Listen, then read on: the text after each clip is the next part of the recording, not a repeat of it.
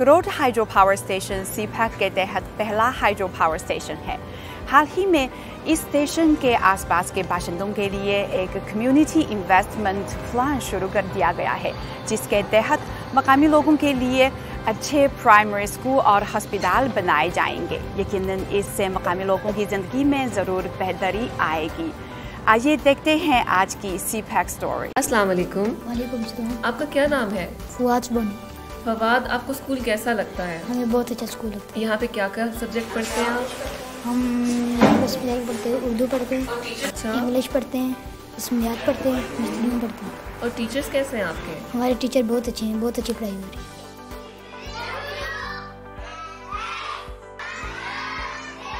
School की तालीम जो है पंजाब ने तो तकरीबन सारा निसाब जो है पूरे पंजाब का सारों के लिए प्राइवेट जो स्कूल है और जो सरकारी हैं, सारों का एक जैसा कर दिया तो और यहाँ के बच्चों की जहनीत भी जिस तरह शहर में होता है, अच्छे जहन है मतलब कि जल्दी इधर बच्चे सीख जाते हैं। डैम बनने से पहले जब ये करोड़ से यहाँ पर कनान में स्कूल शिफ्ट किया गया तो ये सिर्फ़ एक कमरे पर मुश्तमिल था। ना ही बात थे, ना ही इसकी चार दीवारी थी, बाउंड्री वाल नहीं थी और कोई सहूलत नहीं थी यहाँ पर। अ, मुझे अभी भी याद है कि हम 2017 में जब इधर आए तो इधर हम दरख्तों के नीचे बैठ के स्पिलवे से 790 क्यूसेक पानी बह रहा है। स्पिलवे के पीछे पचानवे अशरिया पाँच metre asphalt core rock fill dam है। पावर प्लांट में चार फ्रांसिस टर्बाइन हैं। हर टर्बाइन की सलाहियत 180 मेगावाट है। इस प्रोजेक्ट के कंप्लीट होने के बाद एक तो ये है कि जो हमारा कम्युनिटी इन्वेस्टमेंट प्लान जब मुकम्मल होगा तो उसमें हमने यहाँ पे बिल्कुल करीबी इलाकों में स्कूल्स बनाए हैं। बेसिक हेल्थ यूनिट बनाए हैं हॉस्पिटल्स को अपग्रेड किया है, और जो रबता सड़कें हैं, उनको हमने बेहतर किया है। और उस वजह से जो मुकामी लोग हैं, उनको सेहत और सफ़ाई की सहूलतें बेहतर मैसर आई हैं। दूसरे इनके यहाँ पे रोज़गार इनको बेहतर तरीके से मिला है। तीसरा एक हमारा एक प्रोजेक्ट है मतलब सीएसआर प्रोग्राम के तहत, हमारा जो सी ग्रुप है, उसने एक स्कॉलरशिप प्रोग्राम दिया है, जो इलाके के जो नौजवान हैं, जो यंग यूथ है कम्युनिटी इन्वेस्टमेंट प्लान के तहत सेहत की सहूलियात, तालीम की सहूलियात, पीने के पानी की सहूलियात के साथ साथ इंफ्रास्ट्रक्चर को बेहतर बनाया जा रहा है। अब तक पंजाब और आज़ाद जम्मू और कश्मीर दोनों में 11 मंसूबे मुकम्मल हो चुके हैं। तीन मंसूबे जेर तामीर हैं और चार मंसूबे पाइपलाइन में हैं। इससे मजीद मुस्बत तब्दीलियाँ आएँगी।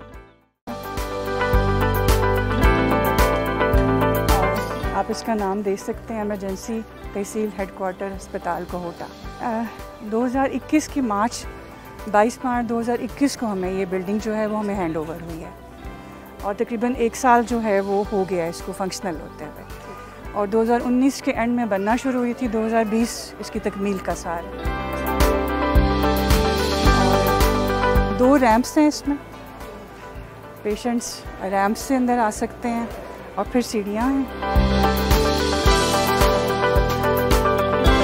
इमरजेंसी में जिस तरह से सीढ़ी जगह खुली चाहिए होती है मरीज़ के आने के लिए वो मैसर है। बाहर हमने इनके पेशेंट के व्हील चेयर्स और जो स्ट्रेचर्स हैं वो भी मौजूद हैं।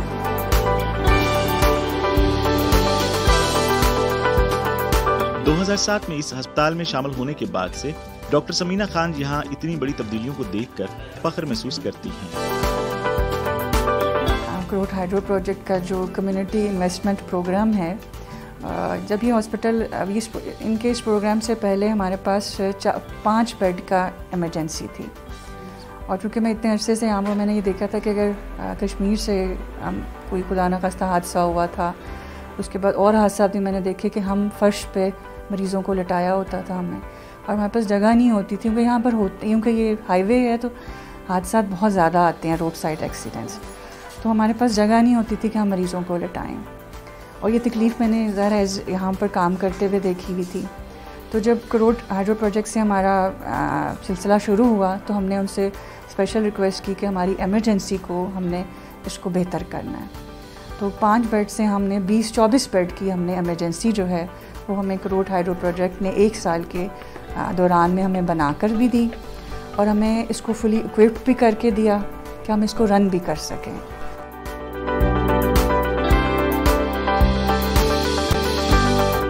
कहूटा रावलपिंडी की एक तहसील है, जिसकी आबादी तकरीबन दो लाख नफूस पर मुश्तमिल है। यहाँ तहसील हेडक्वार्टर अस्पताल कश्मीर हाईवे पर उन्नीस सौ अड़सठ में बनाया गया था। क्रोट हाइड्रो पावर प्रोजेक्ट के कम्युनिटी इन्वेस्टमेंट प्लान के तहत 20 मिलियन रुपए की लागत से एक नया इमरजेंसी ब्लॉक तमीर किया गया है। यहाँ मरीजों को सहूलत फ्राहम की जा रही है। हमने क्रोट हाइड्रो प्रोजेक्ट के दौरान में फिर हमने अपनी सड़क की भी अपनी मदद, आपके तहत हमने ये पूरी सड़क जो है, हमने पूरे कोटा वालों ने हमें हमने डोनेशन जमा किया और ये सड़क बनवाई थी। ये दाई जानब जो है ये ख़वातीन का हॉस्पिटल है। ये जो महरून बिल्डिंग आपको नज़र आ रही है ये ख़वातीन सच्चा बच्चा का यहाँ पर है। नॉर्मल डिलीवरीज़ ओपीडीज़ सारी ख़वातीन का ये पोर्शन है।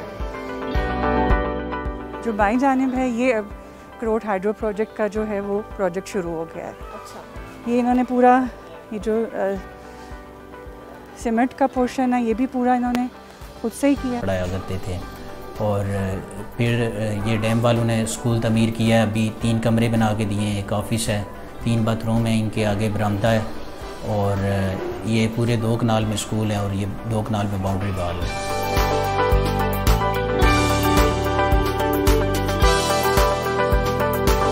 जी करोड़ पावर प्रोजेक्ट बनने से पहले जो हमको मुश्किल थी, वो सबसे पहला ये मुश्किल थी कि हमका ये रास्ता बहुत मुश्किल में था। तो हम, ये सिंगल रास्ता था, हम जब कोई आदमी बीमार होता था तो हम कंधे में उठाकर लेकर जाते थे, चरपाई में भी उठाकर लेकर नहीं जा सकते थे। जब ये करोड़ पावर प्रोजेक्ट बना तो हम लोग, लोगों को ये रास्ता दिया, उन्होंने रोड बना कर दिया और ये स्कूल बना कर दिया। और उसके बाद करोड़ पावर कंपनी ने जो कोटा में एक इमरजेंसी ब्लॉक बना के दिया है, उससे हमें बहुत ज़्यादा फ़ायदा है। हम 40 किलोमीटर दूर बैठे हुए हैं, वहाँ जाते हैं फ़र्स्ट एड मिलती है, उसके बाद हम पिंडी के बड़े अस्पतालों में चले जाते हैं रेफ़र हो जाते हैं। तो इससे ज़्यादा और तब्दीली की आस